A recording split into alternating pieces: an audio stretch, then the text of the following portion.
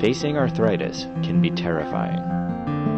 It's the person in the middle of the night that is alone and frightened. They're so brave and they need a helping hand.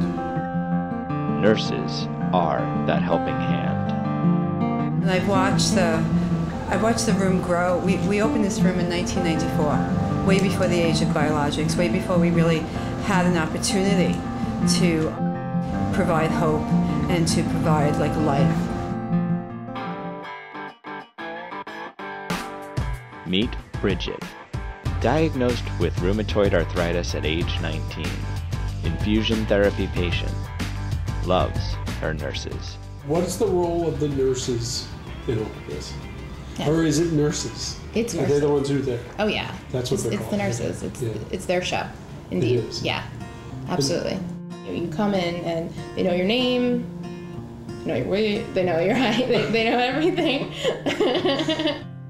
they remember, oh, how was that wedding you went to six months ago? Do you have pictures from the trip you went to?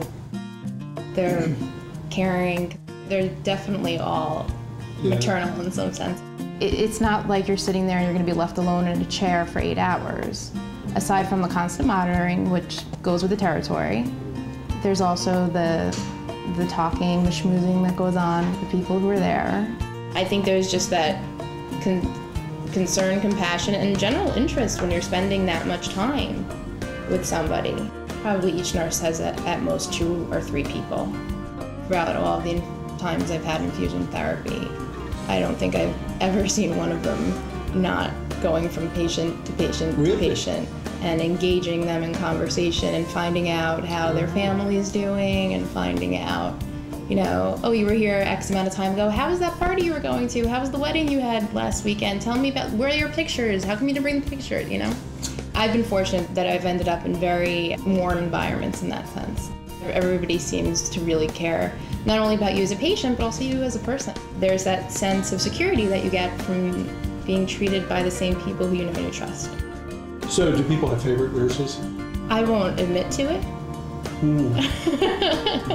no, but I I think I've never been disappointed knowing that somebody is on call where I've been treated. They've really found people that professionally, number one, and personally, they really know how to make you feel comfortable while really doing their job.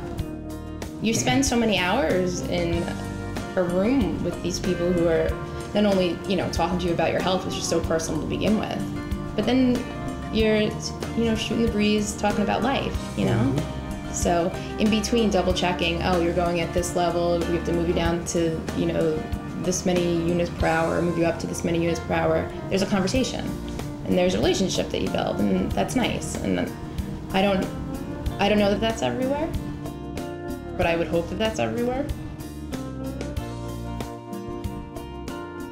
From Bridget and all 25,000 of us at creakyjoints.org to the wonderful nurses who have restored our lives and been our helping hand.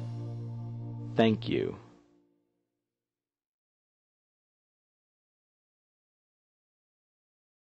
It's like a very small living room for yourself. You can, so you can eat. plug in what you need. You can eat. People get manicures, pedicures. No, but that's a great dye. idea. Is it? Yeah, I bring it. think so. Yeah, offer centers all over the country. Brilliant, brilliant. What about massage? Oh, absolutely. Do they do it now? No, not no. I've never had it, but that's brilliant. Yeah. I love it. Keep them coming. After you leave, what do you think the nurses say about you? Oh, at least we have six more months. or whatever. I think they're like, gosh, she talks a lot on the phone. Yeah, Right. but quietly. That's it. Right. yeah.